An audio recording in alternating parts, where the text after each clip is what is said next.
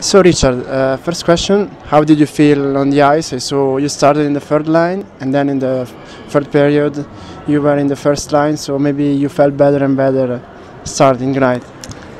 Well, you know, I, I don't like that term third line, first line, second, fourth. I think, uh, you know, uh, something we take a lot of pride in in our team is we're going to be a balanced uh, group moving forward. So, um, doesn't matter who I play with, in, in all honesty.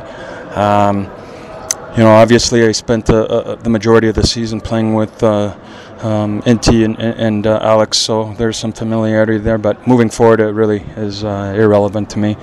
Um, most important thing for me was I felt better as the game progressed, and, and um, you know, um, to me, that's encouraging. So, um, you know, hopefully, uh, I keep moving forward here.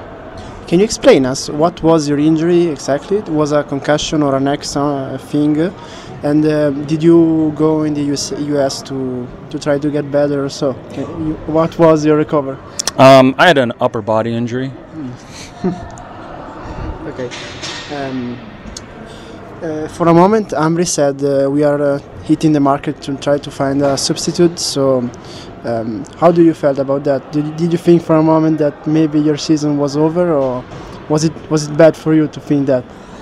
Um, actually, I've never really thought about it. Um, you know, my uh, my biggest priority was getting healthy and getting back on the ice. So, um, you know, that was my sole focus. Uh, Ambrì is now in the playoffs. It's something big for uh, for the team and for the club and the fans. I think it's a huge uh, achievement also for you that you came one year uh, past. So, what can you say about that? I think it's a testament to uh, the guys in that locker room. Um, you know the. Um, you know where we're at right now isn't just indicative of, of uh, the work we've put in this year. It's it's uh, you know we started this process last year, and um, you know there's uh, a lot to feel good about.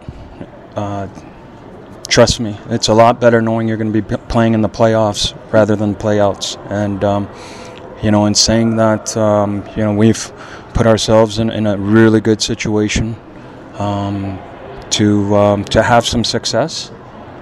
We've got a lot of confidence, and uh, it'll be a lot of fun. Now there will be the last game in uh, Beer. Tonight uh, the team lose, so what can uh, the team do to do better and try to get points?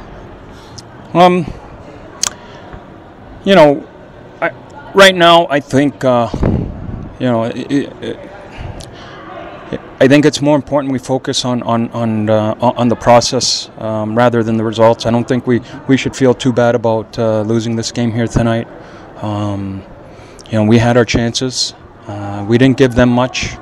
Um, you know, the the, the the the margin for victory right now at this point in the season with so much on the line is, is very very small. So.